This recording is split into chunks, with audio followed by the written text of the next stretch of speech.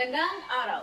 Ito si Gwen Lazarito Haka para sa Haka Daily News. Tuwing sasapit ang buwan ng Agosto, ipinagdidiriwang natin ang buwan ng wika. Ito ay paalala sa atin na huwag nating kalimutan gamitin at pahalagahan ang sariling wika dahil bahagi ito ng ating kultura at identidad bilang Pilipino. Narito ako sa isang barangay sa Cebu upang kausapin ang isa sa mag-aaral sa Cebu Normal University upang talakayin ang isyong ito.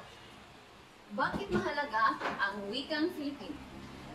Mahalaga ang wikang Pilipino dahil maaari na nitong tukuyan ang ating pagkakailan bilang mga Pilipino. Ito ay isang paraan upang ma- maipakita na ang bansang ito ay padanggi at makakaiba. Bahagi din ito sa ating kultura, kaya dapat nating pan- panatili Mo magagamit ang wikang Filipino sa kasalukuyan?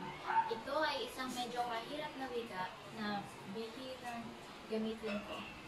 Dahil kadalasan nagsasalita kami sa English at hindi ito man maintindihan ng mabuti ng aking maliit na kapatid. Kaya hindi ko ito gana, ganong ginagamit sa bahay. Pero tinutulungan ko sila sa ma ang wikang Pilipino. Para mas mabuti ang niya ang wika nito.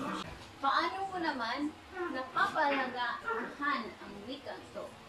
Maaari nating subukan ng magsalita sa Pilipino ng higit pa, matutong magsalita ng mga, ng tubuan.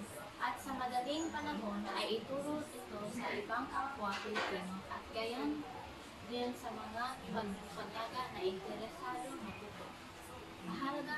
wikang Pilipino dahil ito ay asin at dapat kasing husay tayong magsalita ito gaya sa husay natin sa pagsalita natin.